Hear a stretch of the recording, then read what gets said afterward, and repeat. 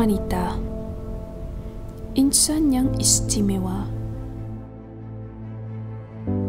Halus perasaannya.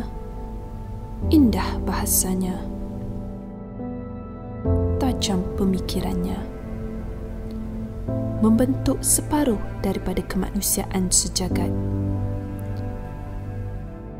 Hakikatnya, mereka setaraf dalam semua aspek kecuali kekuatan fizikal. Maka mereka dipanggil jantina yang lebih lemah. Mereka lebih cantik untuk dilihat. Maka dipanggil jantina yang lebih lembut. Namun, di balik kelembutan tersimpan sejuta makna. Bukan mudah menjadi seorang wanita yang hakikatnya perlu menahan seribu satu kesabaran yang menuntut kecekalan dan ketabahan.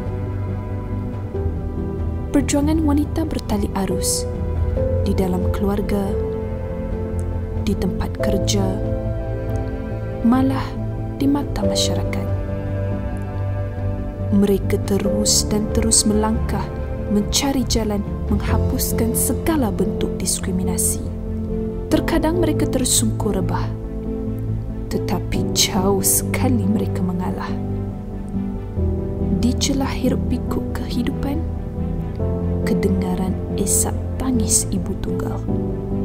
Didepani pelbagai liku dan cabaran dalam meneruskan kehidupan.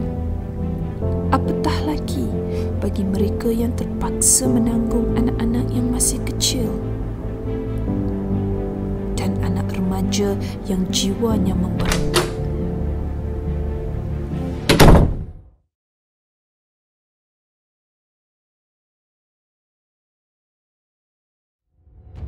Akan tetapi, tangan yang menghayun buayan kini telah pun mengguncang dunia. Wanita bangkit mencipta kejayaan diri demi pembangunan negara. Tidak lagi dipandang lemah mereka tampil sebagai ikon yang dikagumi. Mengharumi tipu helah sepak terajang dunia perniagaan. Dewasa ini lebih ramai wanita berkecimpung dalam bidang perniagaan, berkembang dan berada dalam takut sederhana atau besar. Fitrahnya, wanita itu punya semangat tidak pernah mengalah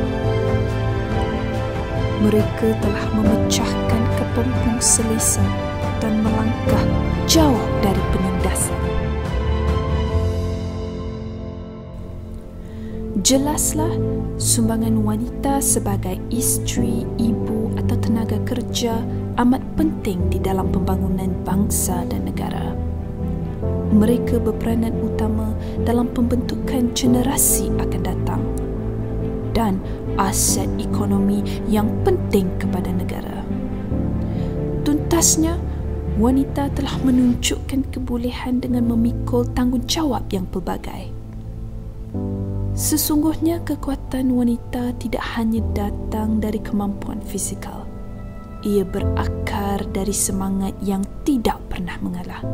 Berbekalkan kesabaran, ketabahan,